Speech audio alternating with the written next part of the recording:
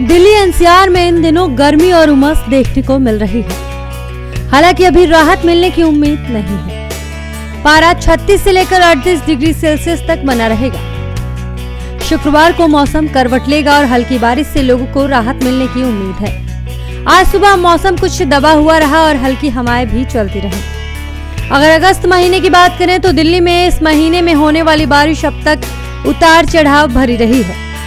महीने के ज़्यादातर दिन सूखे रहे, लेकिन जब बारिश हुई तो एक दिन में बहुत ही ज़्यादा हो गई। इससे लोगों को गर्मी और उमस का सामना करना पड़ रहा है।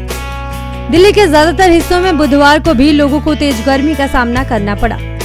सफदरजंग मौसम केंद्र में अधिकतम तापमान 36.4 डिग्री सेल्सियस रिकॉर्ड किया गया, जो सामान्य से तीन डिग्री अधिक है। न्यूनतम तापमान 27.4 डिग्री सेल्सियस रहा, जो सामान्य से एक डिग्री अधिक है। यहाँ पर आर्द्रता का स्तर नवासी से इक्यावन फ़ीसद तक रहा।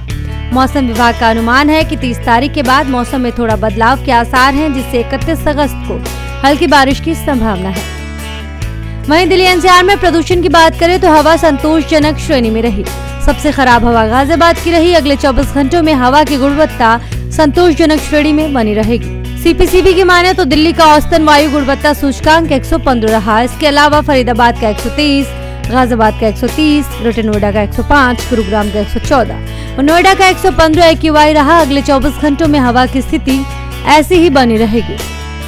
आगामी दिनों में बारिश की संभावना को देखते हुए हवा की गुणवत्ता में भी सुधार की उम्मीद है।